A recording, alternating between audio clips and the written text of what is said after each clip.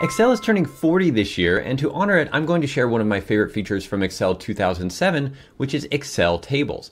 So with any data here, we can go to the Home tab and choose Format as Table, and then select from one of these styles hit OK, and that will format our data as a table. The first thing you'll notice is these banded rows, which just makes our data easier to work with.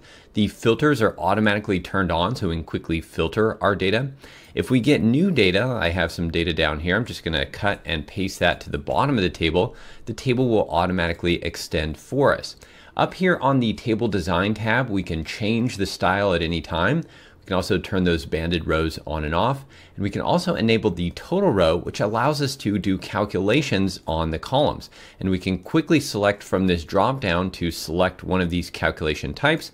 And Excel will insert the formula for us in the total row here, so we don't even need to write any formulas. And of course, there's a lot more to learn with Excel tables, so make sure to follow our channel to get more tips like this.